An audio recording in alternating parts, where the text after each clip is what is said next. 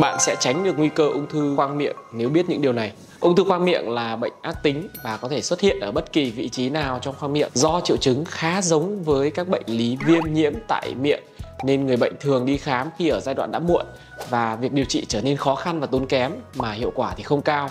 Nguyên nhân gây ra ung thư khoang miệng thì bao gồm các yếu tố nguy cơ cao gây ung thư trong miệng như thói quen sống không lành mạnh, bao gồm hút thuốc lá và uống rượu. Đây là hai nguyên nhân chính dẫn đến ung thư trong khoang miệng. Tiếp theo là ở thói quen ăn trầu thuốc, răng lệch lạc và vệ sinh răng miệng kém thì gây nên những cái tổn thương cơ học trong khoang miệng và tạo điều kiện thuận lợi cho cái tình trạng ung thư phát triển. Tiếp theo là do nguyên nhân bệnh tật do nhiễm virus herpes, HPV hoặc là các hội chứng như Seroderma picentosus, thiếu máu và hội chứng Fanconi. Các tổn thương tiền ung thư khác trong khoang miệng như là bạch sản, hồng sản và viêm nấm candida, quá sản mãn tính và các vết loét do sang chấn liên tục kéo dài thì nó cũng có thể gây ra nguy cơ ung thư trong miệng.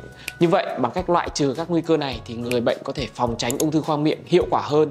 Trên đây là những cái nguyên nhân của ung thư trong miệng và khái niệm ung thư khoang miệng là như thế nào. Nếu mà biết được những cái tình trạng như này thì chúng ta sẽ biết được cách để dự phòng để tránh khỏi nguy cơ ung thư trong miệng nhé. Trong phần tiếp theo thì bác sĩ Cường sẽ nói về những cái triệu chứng ung thư khoang miệng hay gặp nhé.